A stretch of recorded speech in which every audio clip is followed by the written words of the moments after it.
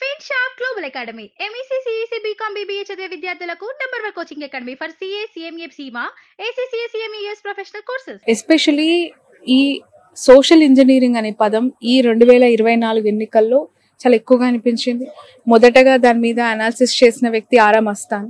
గ్రౌండ్లో మీకు వెళ్ళినప్పుడు ఎలాంటి రియాలిటీస్ కనిపించాయి? ఎస్పెషల్లీ బీసీలు గంపగుత్తగా టీడీపీకి కొన్ని సంవత్సరాలుగా అలైన్ అయి ట్రావెల్ అవుతున్న వాళ్ళని జగన్ ఏ విధంగా చీల్చాడు? బీసీ కమ్యూనిటీ ఏ విధంగా అలైన్ అయింది? చవణి గారు జగన్మోహన్ రెడ్డి గారు ఈ రాష్ట్రంలో ఉన్న సామాజిక వర్గాల నాడి పట్టుకున్నారంటంలో సందేహం లేదు. చూడండి మనందరూ తెలుసు ఫలానా కులం అంటే ఈ పార్టీకి అనుకూలం ఫలానా కులం అంటే ఈ పార్టీ అనుకూలం మనం అందరం అనుకుంటూనే ఉంటాం జనరల్ అది కామన్. దీన్ని పొలిటికల్ ఎఫినిటీ అంటారు. అంటే political affinity groups suppose Kamma Vaishya లేదా క్షత్రియ ఈ వర్గాలు TDP affinity Reddy Mala Madiga Muslim ఇవన్నీ వైఎస్ఆర్సిపి ఎఫినిటీ ఈ పొలిటికల్ ఎఫినిటీ గ్రూప్స్ ఏవైతే ఉన్నాయో ఈ పొలిటికల్ ఎఫినిటీ గ్రూప్స్ని రీఆర్గనైజ్ చేయడంలో జగన్మోహన్ రెడ్డి గారు సక్సెస్ అయ్యారు. ఎలా? వైఎస్ఆర్ కాంగ్రెస్ పార్టీకి ఉండే నాలుగైదు పొలిటికల్ ఎఫినిటీ గ్రూప్తో తెలుగుదేశం పార్టీకి ఆ అసెంబ్లీలోనో ఆ పార్లమెంట్లో ఉన్నటువంటి ఇంకొక పెద్ద గ్రూప్ని తెలుగుదేశం ఎఫినిటీ గ్రూప్ని తీసుకొచ్చి టికెట్ ఇవ్వడంతో ఈ నాలుగు గ్రూపులతో పాటు ఆ గ్రూప్ కలిసి ఐదు గ్రూపులతో పెద్ద గ్రూప్గా ఏర్పడటం మనం చూసాం అనమాట ఇది అనేక నియోజకవర్గాలు అదే చేశాడు.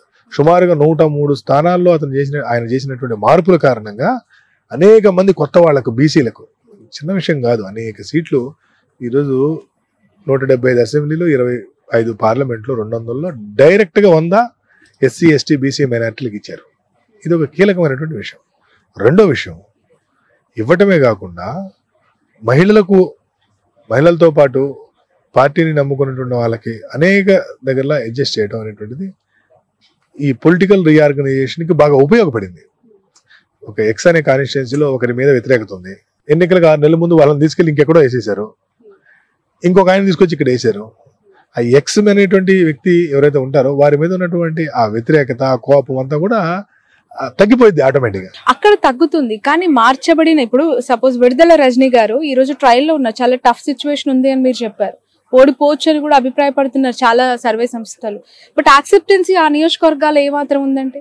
ఎగ్జాక్ట్లీ విడుదల రజనీ గారు గుంటూరు వెస్ట్కి వెళ్ళి చాలా కష్టపడ్డారు. వంద రోజుల పాటు బాగా తిరిగి బాగా ఎలక్షన్ విడుదల రజనీ గారు కాకుండా ఇంకెవరైనా సరే విడుదల రజనీ గారు కాకుండా ఇంకెవరైనా సరే అక్కడ ఆ మాత్రం పెర్ఫార్మెన్స్ ఇచ్చేటువంటి పరిస్థితి లేదు. అది హార్డ్ కోర్ తెలుగుదేశం కాన్స్టిట్యున్సీ ఆ నియోజకవర్గంలో పొలిటికల్ ఎఫినిటీ గ్రూప్స్ అన్ని కూడా టీడీపీతో ఉంటాయి. టీడీపీ ఎఫినిటీ గ్రూప్స్ ఎక్కువ. అయినా కూడా ఈరోజు ఇంత పోటీ ఇవ్వగలుగుతుంది అంటే చిన్న విషయం కాదు. కాబట్టి నేను కూడా ఏంటంటే మార్జిన్ ఆఫ్ ఎర్రర్ లోబడి ఉంది అక్కడ రిజల్ట్ మార్జిన్ ఆఫ్ ఎర్రర్ లోబడి ఉంది అనమాట కాబట్టి ఈ మార్చినందువల్ల ప్రయోజనం జరిగినట్టే కదా? బహుశా అక్కడ ఆవిడ కాకుండా ఇంకెవరు నిలబెట్టినా కూడా ఆ స్థాయి పెర్ఫార్మెన్స్ లేదా ఆ స్థాయి ఫలితం వచ్చేటువంటి పరిస్థితి లేదు. ఓకే రైట్ మీరు గతంలో ఒకసారి మాట్లాడుతున్న సందర్భంలో నాతో ఆన్ ఫోన్ కాల్ నేను మిమ్మల్ని అడిగిన ప్రశ్న సార్ పోలింగ్ పర్సంటేజ్ ఈ స్థాయిలో గతం కంటే ఎక్కువగా ముందుకెళ్తోంది. అది ఎయిటీ వన్ పర్సెంట్ రీచ్ అయిన సందర్భంలో ఖచ్చితంగా అది వ్యతిరేక ఓటు. ఒకవేళ అది పెరిగితే లాస్ట్ టైం కంటే పెరిగితే ఖచ్చితంగా కూటమికే ఛాన్స్ ఉంది. లేదు అంటే వైసీపీ వస్తుంది ఆగిపోతే. లాస్ట్ టైం కంటే ఒక్క పాయింట్ వచ్చి ఆగిపోయినా వైసీపీకి ఎజెండా బట్ ఈ రోజు చూస్తే ఎంటైర్లీ డిఫరెంట్గా మీ రిజల్ట్ ఇవ్వడం జరిగింది. ఎగ్జాక్ట్లీ శ్రవణ్ గారు మనం మాట్లాడుకుంది బిఫోర్ పోలు. తర్వాత పోలింగ్ రోజు సాయంత్రం నేను ఒక ప్రైవేట్ టీవీ ఛానల్లో మాట్లాడుతూ కూడా ఈ వ్యాఖ్య చేశాను. ఆ తర్వాత ఇరవై నాలుగు గంటలకి డేటా వచ్చింది. పోలింగ్ బూత్ వైజ్ మండల wise assembly wise parliament data వచ్చిన తర్వాత ఆ డేటాని ఒకసారి మేము వెరిఫై చేసాం వెరిఫై చేస్తే ఆ డేటాని బేస్ చేసుకొని చూస్తే ఎక్కడెక్కడ వైఎస్ఆర్సీపీకి అనుకూలత ఉందో ఆ లొకాలిటీస్ లేదా ఆ పోలింగ్ బూతుల్లో విపరీతమైనటువంటి పోలింగ్ జరిగింది. Ninety two ninety four percent కూడా పోలింగ్ జరిగింది వైసీపీ అనుకూల ప్రాంతాల్లో.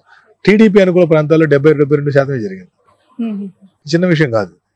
సో ఎప్పుడైతే మేము ఈ డేటా మొత్తాన్ని ఒకసారి వెరిఫై చేసామో ఆ అనాలిసిస్లో మాకు అర్థమైంది ఏంటంటే ఈ అనుకూలత వైఎస్ఆర్సీపీకి సంబంధించింది. ఇది ప్రతిపక్షం మీద ఉన్నటువంటి అనుకూలత కాదు. అనేది. కానీ ఆ రోజు బిఫోర్ పోల్ మీతో మాట్లాడినప్పుడు కానీ లేదంటే పోలింగ్ డే రోజు వేరే ఛానల్లో మాట్లాడినప్పుడు కానీ ప్రాబ్లం ఏంటంటే డేటా రాలేదు. పోలింగ్ జరుగుతుంది. నేనేమో ఐదు గంటల నుండి మాట్లాడుతా ఉన్నాను టీవీలో ఐదు ఐదున్నరకు. ఆ రోజు రాత్రి పదిన్నర పదకొండు గంటల వరకు కూడా పన్నెండు. పన్నెండు వరకు కూడా పోలింగ్ జరుగుతూనే ఉంది.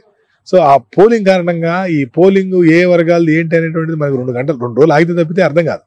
మహిళలు ఎంతమంది వచ్చారు ఏ కాలనీలో లేకపోతే ఏ పోలింగ్ బూత్లో ఉన్న ఓట్లు ఎన్ని ఎన్ని పోల్ అయినాయి అనేటువంటిది రెండు రోజులు పట్టేటుండేట రెండు రోజుల తర్వాత ఇవన్నీ చూసిన తర్వాత ఇది వైఎస్ఆర్సీపీ ప్రభుత్వానికి అనుకూల ఓటు పడింది అనేటువంటి క్లారిటీకి అయితే మేము రాగలిగాం. ఓకే రైట్ ఈ పెరిగిన ఓటు పర్సంటేజ్లో మెజారిటీ ఆఫ్ ద ఓటు మీరు ఫీమేల్ ఫ్యాక్టర్కి ఇస్తున్నారు. దాదాపు పురుషుల కంటే ఎక్కువగా మహిళలు వేశారు అని చెప్పి.